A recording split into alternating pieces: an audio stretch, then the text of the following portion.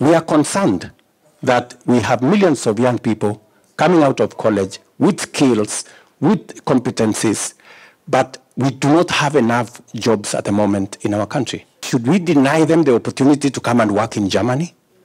I don't think so.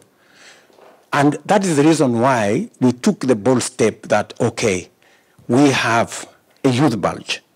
We have a labor market in Germany.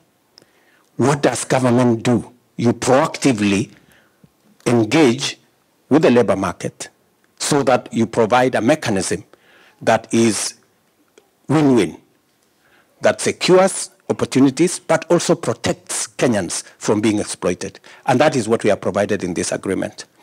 And I cannot say it is 100% perfect. Maybe there are areas we can improve. And that is why I asked my sister there, as a lawyer in this country, to look at the agreement. If there are areas we can make it better, let's do.